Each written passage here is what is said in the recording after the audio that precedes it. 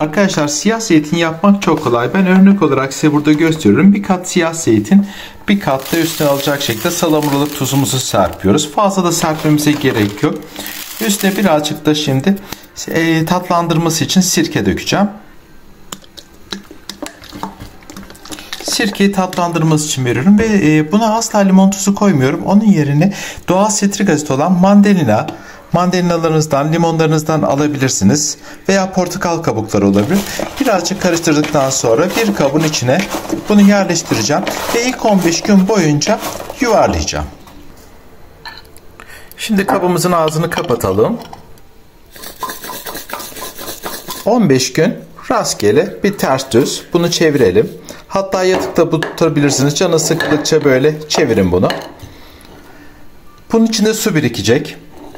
Bakın mandalina kabuklarında burada limon tuzu koymuyorum. Sitrik asitleri bunu sakın unutmayın. Mandalina kabuğu, portakal kabuğu hem de çok güzel aroma verir. Zeytinlerinizin diri durmasını sağlar. Hatta işte birkaç tane de unuttum şimdi atacağım. Zeytin yaprağı. Bu da yumuşamayı kesinlikle önlüyor. Zeytin yaprağı da atalım içerisine. Yeşil zeytin de yapsanız, siyah zeytin de yapsanız zeytin yaprağını mutlaka atın. Zeytin kadar vitaminlidir ve yumuşamayı önler. Bunu 3 ay sonra afiyetle tüketebilirsiniz. Hatta e, az zeytinler daha çabuk da olabiliyor.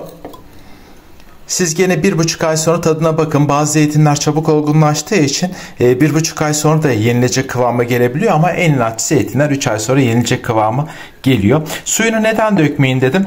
E, suyu acı suyu içinde kalırsa zeytin daha güzel tatlanır. Ve aynı zamanda daha diri, daha parlak bir görüntü olur. Eğer suyunu dökerseniz sele zeytin gibi buruşuk bir zeytin elde edersiniz. Suyunu dökmezseniz de e, diri bir zeytin elde edersiniz. Daha parlak, daha dolgun, daha diri zeytinler olur. Aynı zamanda suyunu dökmezseniz zeytin daha çabuk olgunlaşır. Atıyorum döktüğünüz suyunu döktüğünüz zeytin 4 ayda 5 ayda olgunlaşırken suyunu dökmediğiniz zeytin 3 ayda en geç 3 ayda olgunlaşır.